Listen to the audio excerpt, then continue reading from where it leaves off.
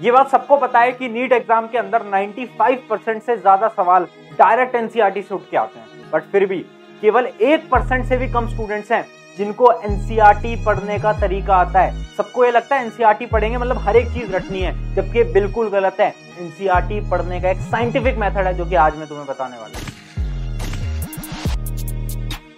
सो hi everyone मेरा नाम है Prashant mentor of thousands of students अगर आप मुझे नहीं जानते हो तो अपना इंट्रो दे देता हूँ। पिछले दो साल से हम नीट और जेई एस्पिरेंट्स को गाइड और मेंटोर कर रहे हैं और तुम्हारे जैसे कई स्टूडेंट्स को हम आज के समय पर हमारी गाइडेंस और मेंटोरशिप की मदद से एम्स जैसे बड़े कॉलेज के अंदर एडमिशन दिला चुके हैं। मैं ये नहीं बोलूँगा, पूरी मेहनत मेरी थी, पर मैं ये ज़रूर बोलूँगा, उनको गाइड करा था सही पाथ पे।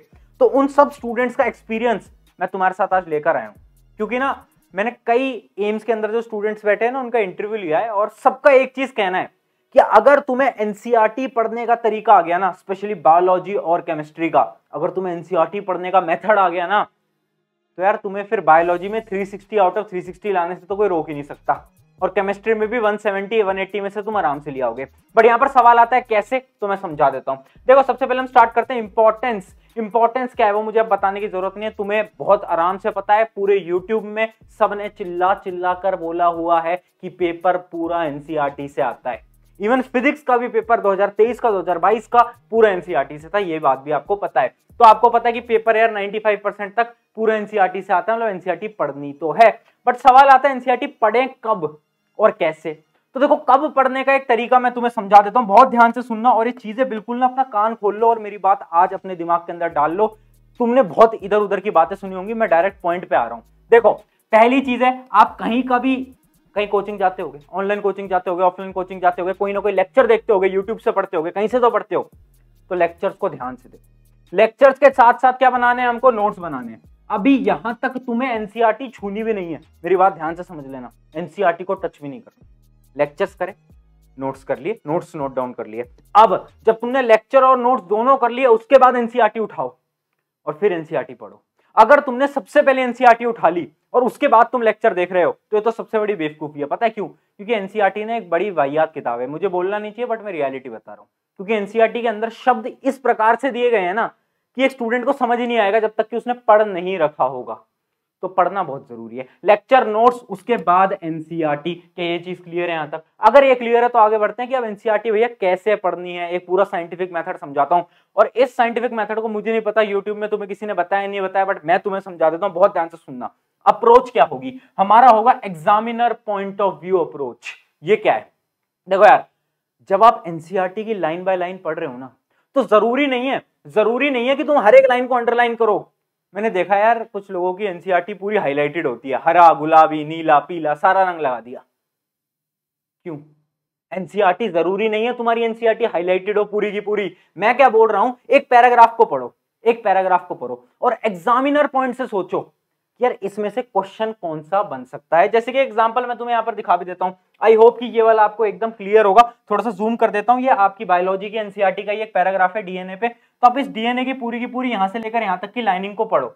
एक बार मेरे साथ साथ पढ़ना, आपने अगर पढ़ा होगा तो आपको पता ही होगा। जैसे कि ये वाली लाइन थी। This also is the characteristics of an organism for the example of क्या है ये?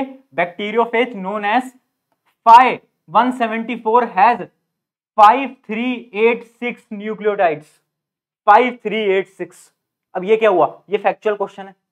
नीट के अंदर नहीं आएगा ये? आएगा ये। बहुत आराम से आ सकता है। फैक्चुअल क्वेश्चन तुम्हें पता है कितने सारे आ रहे हैं बायोलॉजी के तो। तो ये जो होते हैं ना फैक्चुअल क्वेश्चन ये मुझे कैसे पता चला? क्योंकि मैंने पढ़ी स्टेटमेंट और मुझे लगा कि यार ये वाला सवाल तो नीट पूछ सकता है। ये वाला सवाल तो नीट पूछ सकता है। तो जब तुम एनसीआरटी पढ़ते हो ना तो तुम्हें एग्जामिनर पॉइंट से देखना है। यार एक एग्जामिनर अगर इस पैराग्राफ को पढ़ेगा तो उसमें से वो कौन कौन से सवाल बना सकता है? क्या वो इसका सवाल बना सकता है कि भाई कितने न्यूक्लियोटाइड्स होते हैं? हाँ बना सकता है। क्या इसमें से और सवाल बना सकता है? एक बार पूरा सेंटेंस पढ़ोगे तो तुम्हें पता चलेगा, हर एक पैराग्राफ में से मुश्किल से दो या तीन सवाल ही बन सकते हैं। अगर तुम्हें वो क्लियरिटी हो गई ना, मस्त, मज़े आ जाएँगे। और हर एक टॉपर ने बताया। हर एक टॉपर ने। याद रखना, हमें एग्जामिनर पॉइंट ऑफ़ व्यू से सोचना है। अब आपको एक और एग्ज़ाम्पल देता हूँ। अब देखो, मैंने ना कई आपके एम्स वाले स्टूडेंट से भी बात करी थी तो उन्होंने एक उनकी ट्रिक बताई, एक सीक्रेट ट्रिक है, मैं तुम्हारे साथ शेयर करता हूँ आज। देखो, जैसे कि ये क्या है, ये हमारा ह्यूमन रेस्पिरेटरी सिस्टम, ये भी आपकी बायोलॉजी बुक की है, ह्यूमन रेस्पिरेटरी सिस्टम। तो एक टॉपर क्या करता है ना topper W W H strategy को यूज़ करता है, देखना। डब्ल्यू डब्ल्यू एच स्ट्रैटेजी ये क्या होती है? बहुत सिंपल सी स्ट्रैटेजी है, बहुत ध्यान से सुनना और बहुत इंपॉर्टेंट भी है। पहले डब्ल्यू का मतलब है वॉट दूसरे डब्ल्यू का मतलब है क्या वाई और तीसरे का है हाउ क्या बोला मैंने? वॉट वाई हाउ क्या चीज़ क्लियर है? अब एक टॉपर क्या करेगा? एक टॉपर ने इस पूरे सेंटेंस को पढ़ा, पूरे पैराग्राफ को पढ़ा कि ह्यूमन रेस्पिरेटरी सिस्टम होता क्या है। अब जब उसने पढ़ लिया ना तो पता है क्या करेगा? वो खुद से तीन सवाल पूछेगा। क्या पूछेगा? What is human respiratory system दूसरा सवाल पूछेगा कि होता क्या है? वाई क्यों होता है? पूरे चीज़ें समझेगा। और उसके बाद हाउ इसके अंदर जितनी भी चीज़ें हो रही हैं, वो कैसे हो रही हैं? खुद से तीन सवाल पूछते हैं, हर एक। हर एक टॉपिक के लिए तीन सवाल अगर तुमने खुद से पूछ लिया तो देखो मज़े आ जाएँगे। वॉट वाई हाउ ये तीन सवाल बहुत इंपॉर्टेंट है। और हर एक टॉपर क्या करता था? ये जो साइड में पेज बचता है ना, ये साइड में जो लाइंस बचती थी साइड में जो ब्लैंक पेज बचा है एनसीआरटी के अंदर, इसके अंदर पेंसिल से छोटे छोटे पॉइंट्स बना लेता था। कि अच्छा इस पूरे पैराग्राफ की समरी है point number one point number two point number three point number four point number five पाँच पॉइंट के अंदर पूरी समरी बना ली इस बड़े से पैराग्राफ की। उससे क्या हुआ? जब आप वापिस आओगे ना रिविजन करने, जब वापिस आओगे ना एनसीआरटी पढ़ने तो अब आपको बोरिंग लाइन नहीं पढ़नी। अब आपको बस देखने अच्छा ठीक है वन टू थ्री फोर यही तो पढ़ना है भैया यार, क्या प्रॉब्लम है इसमें? समझ रहे हो? मैं क्या समझाना चाह रहा हूँ? एग्जामिनर अप्रोच से हमने हर एक पैराग्राफ को सोचा, और जो जो इंपॉर्टेंट पॉइंट हमें लगे कि यार इस पूरे पैराग्राफ को मैं पाँच पॉइंट के अंदर खत्म कर सकता हूँ, वो पाँच पॉइंट मैंने साइड में लिख लिए। अब बहुत सारे लोग हैं जो बोलते हैं, यार भैया एनसीआरटी में लिखना नहीं चाहिए। मैं बोलता हूँ सबसे बड़ी मूर्खता है। एनसीआरटी में लिखो, कोई दिक्कत नहीं है। क्योंकि तुम जब एनसीआरटी वापस पढ़ने बैठोगे तो तुम्हें केवल यही पढ़ना पड़ेगा और तुम्हारा टाइम बहुत बचेगा लॉन्ग टर्म के लिए। ये नीट की रेस है ना, ये घोड़ों की रेस नहीं है, ये कछुओं की रेस है। यहाँ पर धीरे चलना पड़ता है, धीरे चलना पड़ता है यहाँ पर, भागना नहीं होता है यहाँ पर। हर एक चीज़ को बार बार बार बार बार बार पढ़ना पड़ेगा, तभी मेमोरी के अंदर जाएगा। तो बार बार पढ़ोगे तो इन पॉइंट्स को तुम इजीली रिमेंबर कर सकते हो। ट्रिक समझ गए, बहुत ज़्यादा इंपॉर्टेंट है। तो ये थी हमारी कि हमें एनसीआरटी पढ़ने कैसी है। उसके अलावा एक पॉइंट याद रखना कि यार डोंट डिपेंड ऑन बुक्स मैंने कई स्टूडेंट्स को देखा है, वो एनसीआरटी नहीं पढ़ेंगे। वो ना कुछ किताबें खरीद लेंगे। जैसे कि मैं किताब को डिफेम तो नहीं करूँगा, है ना? मैं नाम लेना तो चाह रहा था बट मैं लूँगा नहीं। तुम कमेंट में बता देना, मैं किस किताब की बात कर रहा हूँ। उस किताब का नाम एनसीईआरटी से ही शुरू होता है है ना? तो एनसीईआरटी उसके आगे कुछ भी लगा होता है तो उन स्टूडेंट्स को लगता है कि इस किताब को लेंगे ना तो एनसीईआरटी के सारे क्वेश्चन तो यहाँ से मिल जाएँगे। तब मुझे एनसीईआरटी पढ़ने की तो ज़रूरत ही नहीं पड़ेगी भैया। ये बहुत बड़ी मूर्खता है। क्यों? क्योंकि यार वो एक किताब है, उसके अंदर क्वेश्चन है। ज़रूरी नहीं है ना कि नीट उसी बुक में से उठा के क्वेश्चन दे रहा है। वो तो एनसीआरटी से क्वेश्चन दे रहा है। तो अगर तुमने एनसीआरटी नहीं पढ़ी ना तो भैया कोई बुक फ़ायदा नहीं देगी। चाहे तुम कितनी भी बड़ी किताब उठा लो। पहले एनसीआरटी फिर दूसरी बुक्स होती हैं। उसके अलावा एक इंपॉर्टेंट चीज़ और है read every line plus table plus scientist name biology के लिए जितनी भी टेबल्स हैं, जितने भी डायग्राम्स हैं, वो अजीब अजीब से जो डायग्राम्स हैं, उनको भी याद करो।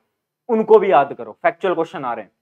थोरेटिकल क्वेश्चन आ रहे हैं। बहुत सिंपल सिंपल साइंटिस्ट नेम पे भी हमें दिख गए हैं क्वेश्चन अब तो। अब तो हद कर दिया साइंटिस्ट नेम तक पूछने लगे हैं। तो सारी चीज़ें इंपॉर्टेंट है। जैसे अभी मैंने आपको एग्ज़ाम्पल में दिखाया था, वो क्या था? एक फैक्चुअल क्वेश्चन था। उस प्रकार के क्वेश्चन आ रहे हैं। तो हमें क्या करना है? हमें यार सारी चीज़ें पढ़नी है। एनसीईआरटी बायोलॉजी केमिस्ट्री के लिए हर एक लाइन पढ़नी है। फिजिक्स के लिए अगर नहीं भी पढ़ते हो तो उतना ज़्यादा मतलब इंपॉर्टेंट नहीं है बट फिजिक्स की जो एक्सरसाइज क्वेश्चन है, वो इंपॉर्टेंट होती है। बट बायोलॉजी केमिस्ट्री के लिए सारी चीज़ें तुम्हें पढ़नी है। आई होप कि तुम्हें समझ आ गया होगा। कि क्या पढ़ना है, कैसे पढ़ना है और नीट के लिए क्या बेस्ट टेक्निक रहने वाली है, कैसे तुम पूरी एनसीईआरटी को क्रैक करने वाले हो। और यार, वो बुक के झांसे से बच जाओ, अभी भी समय है है ना? सौ किताबें खरीदने से कुछ नहीं होगा। मैं ये नहीं कह रहा किताबें बेकार है, मैं ये कह रहा हूँ कि पहले एनसीआरटी कोचिंग मटीरियल फिर किताबें फिर किताबें। स्टूडेंट क्या करते हैं? किताबें ले लेंगे, फिर कोचिंग मटीरियल फिर एनसीआरटी पढ़ कैसे रहे पहले किताबें पढ़ रहे हैं कंप्लीट नहीं हुई। फिर कोचिंग मटीरियल कंप्लीट नहीं हुई। एनसीआरटी तो छूते ही नहीं है। कैसे होगा यार? नहीं हो पाएगा ऐसे।